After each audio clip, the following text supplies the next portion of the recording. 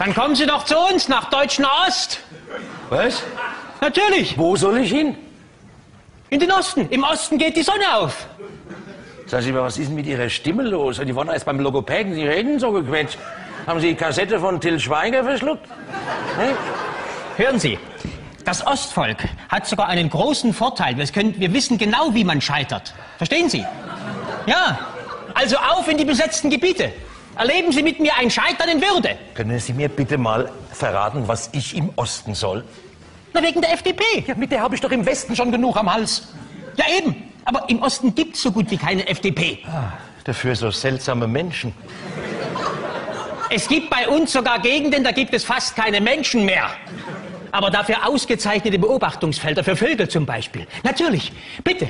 Beobachten wir im Reich der Vögel jetzt den kleinen Eisvogel oder ganz aktuell unsere Trottellumme aus Mecklenburg.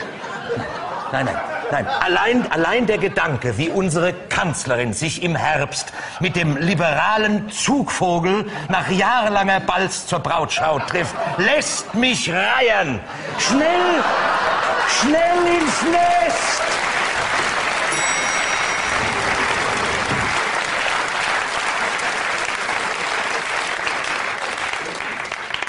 Hochverehrte Vogelfreunde, liebe Vogelbäuerin, lieber Vogelbauer.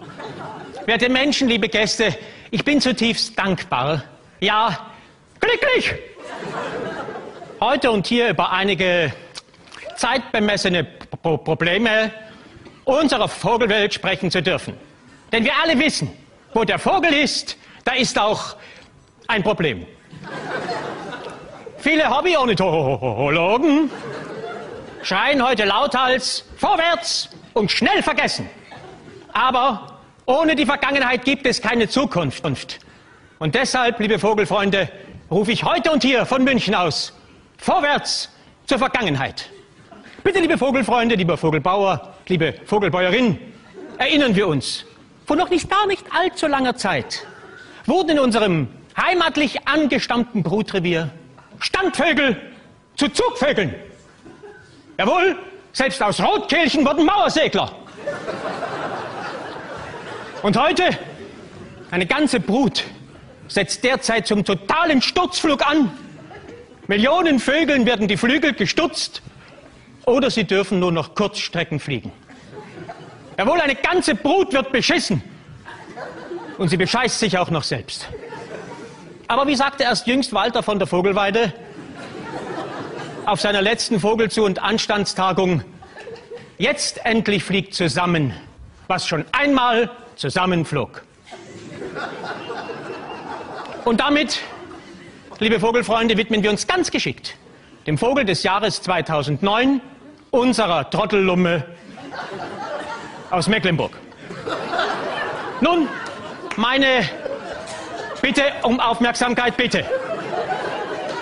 Nun, meine neuesten Erkenntnisse über diesen flauschig drolligen Gesellen, gewonnen in Fauna und Sauna, Flora, besagen, die Trottellumme zählt nicht unbedingt zu den schönsten und prächtigsten, aber sie ist die schwerste ihrer Art. Und deshalb erkennt der erfahrene Vogelbauer, die erfahrene Vogelbäuerin Sie anstandslos, also ohne Anstand, schon von weitem. Woran? Nun an ihrem wundervoll gezeichneten schwarzen Kopf und dem kurz aber kräftigen Schnabel, der bei großer Hitze schon mal offen stehen kann. Denn Trottellummen schwitzen nie, so muss geheuchelt, gehechelt werden.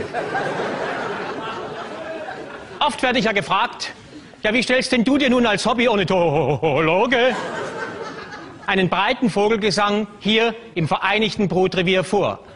Gestatten Sie mir dazu, dass ich eine kurze Demonstration im Sinne einer Skizze wage. Erleben wir also auf der einen Seite die kleine Amsel aus dem Osten unseres Landes, bemüht um den Dialog. Und auf der anderen, aus dem Westteil stammend, der uns bekannte Truthahn. Ich demonstriere.